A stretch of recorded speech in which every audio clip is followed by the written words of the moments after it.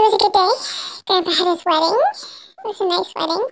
Got lots of pictures. I'll put them up on Facebook later.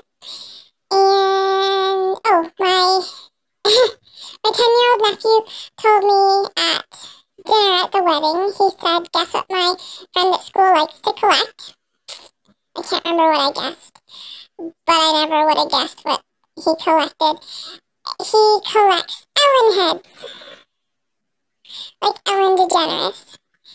He cuts out her heads from magazines and puts them in a jar.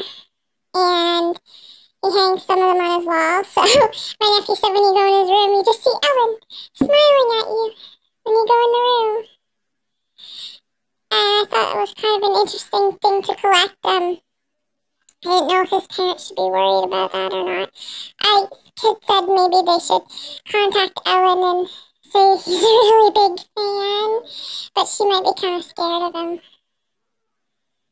Yeah, I don't know. made my night. It was pretty funny. So that's pretty much all that happened today. Was we were at the wedding and learned about a kid who collects Ellen heads. Um, so uh, tomorrow's Sunday, and I guess we'll see if anything interesting happens tomorrow. So I'll talk to you tomorrow.